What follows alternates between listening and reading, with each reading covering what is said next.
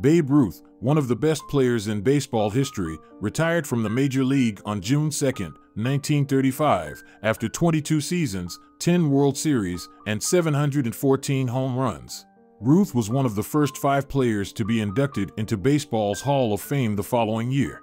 Ruth was a larger than life character whose name came to be synonymous with the sport. The game was eclipsed by George Herman Ruth, who is still regarded as the pinnacle of baseball. He became one of the most well known Americans to have ever lived thanks to his career, both on and off the field.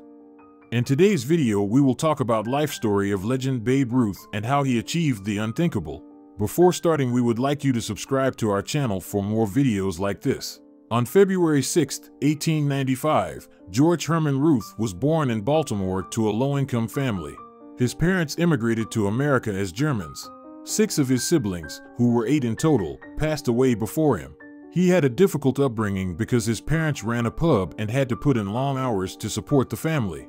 In addition, the area was rough, with street fights being frequent. Although little is known about his child, Babe Ruth later claimed that his father passed away in 1918 after getting into a street brawl. His father was a heavy drinker, he attended the Roman Catholic Brothers St. Mary's Industrial School for Boys as a youngster, where he excelled in sports and learned to play baseball. George Jr. started playing and practicing baseball while still in school. Brother Matthias, a senior monk, served as his coach and mentor, and under his guidance, George Jr. quickly rose to prominence for his extraordinary baseball abilities. One of the few people in positions of power whom George Jr. looked up to and admired was Brother Matthias. Ruth was more disciplined as a result of his respect for Brother Matthias, and Ruth was always grateful for what Brother Matthias had done for him. Despite receiving an education, St. Mary's boys were also required to work and assist with school operations, especially once they became 12 years old. Ruth learned how to manufacture shirts and was a skilled carpenter. Even during his lucrative baseball career, he preferred to handle his own shirt collar adjustments rather than having them done by a tailor. Jack Dunn, owner of the Baltimore Orioles, visited George Jr. in February 1914 when he was 19 years old to examine this fresh prospect. After only an hour of seeing George Jr., he was so moved by his brilliance that he immediately signed him. Jack Dunn was appointed George Jr.'s guardian to fulfill the terms of the agreement. When George Jr. was presented to the veteran Baltimore players, he earned the nickname the Babe. They called him Jack's newest hottie, and he carried the moniker with him all through his professional life. Babe Ruth's reputation at this point in his career was more closely associated with his skill as a pitcher than a hitter. He reflected how naturally attracted to the game he was. As soon as I got out there, I felt a strange relationship with the pitcher's mound. It was as if I'd been born out there. Pitching just felt like the most natural thing in the world. Striking out batters was easy. Babe Ruth made his major league debut for the Boston Red Sox on July 11, 1914, after playing well enough for the Baltimore Orioles to catch their notice. He also participated in a rotation for the Providence Grays, a minor league team, at this time. Babe Ruth gained more prominence as a hitter in 1917, and he was given permission to advance up the batting order, which offered him more chances to show off his ability to hit home runs. His stats and play were excellent right away, and by 1918, he was a regular great player for the Boston Red Sox. He shared the record for 1918's most home runs, 11, and assisted the Red Sox in winning the championship. Babe Ruth had to take a minimal job in a steel factory up until November 1918 in order to escape being drafted during the First World War.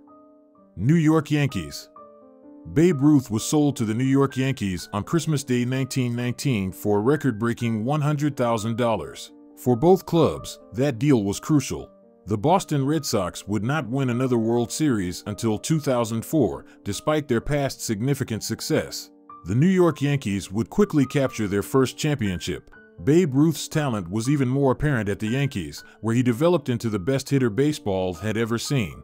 He broke records for home runs and batting averages, becoming the face of baseball.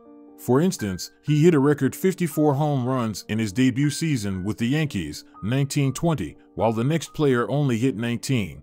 Babe Ruth broke the previous mark with a season best batting average of 846 in 1921. Babe Ruth's popularity transformed the way that people thought about baseball. It prompted more players to aim to hit home runs rather than plod along for modest victories. As fan interest in the Yankees increased, they relocated to a new stadium in 1923. This stadium became known as the house that Ruth built. The New York Yankees were the most successful baseball club of all time under Babe Ruth's leadership. The Yankees won seven pennants and four World Series with Babe Ruth. Babe Ruth led the charge with a record 60 home runs for the 1927 New York Yankees club, which is regarded as one of the best baseball teams ever. Babe Ruth was in a unique position to negotiate for greater compensation because of his fame and accomplishment. He was skilled at obtaining a higher wage since he was aware of his ability to generate cash. Babe Ruth was recognized for his outsized personality outside of baseball. Babe Ruth was well recognized for his ability to consume a lot of booze despite the Prohibition era. He was a notorious womanizer who frequently partied till the wee hours. His weight frequently fluctuated and his chaotic social life had an impact on his health. His physical condition had gotten worse by the middle of the 1930s, and he could hardly run. In 1929, he married Helen Woodford and Clary Merritt Hodgson twice. They adopted daughters Juliet and Dorothy in both of their marriages. Babe Ruth, though, also engaged in a number of affairs. In addition to leading a promiscuous lifestyle, Babe Ruth also made time to visit nearby hospitals and nonprofit organizations. He was always willing to greet fans, sign autographs, and encourage kids. Despite the press's eagerness for anything Babe Ruth did, he attempted to avoid drawing any attention from them. He was also reputed to go to Mass, even after staying out all night drinking. Additionally, he donated money to his previous school, and especially to Brother Matthias. Babe Ruth became the most successful athlete of his period in the 1920s, coming out of poverty and obscurity to represent the American ideal and the new era of the Roaring Twenties. His fame went far beyond the field of competition. Babe Ruth played baseball in a Ruthian manner, which has come to describe colossal, dramatic, enormous, spectacular, with great power. Babe Ruth dominated the record books when his career came to an end in 1935. He held 56 major league records, including the record for the most career home runs, 714, which was a significant number at the time. He failed to land a managerial position when his playing days were done. Many business owners believe Babe Ruth's personal habits would make management challenging because of his unwillingness to impose rules. Ruth was unsuccessful in landing a job as a baseball analyst as well. However, he made numerous personal appearances to support the war effort during the Second World War. His popularity and charisma still have the power to draw sizable crowds. This included one last playing performance in 1943 at Yankee Stadium.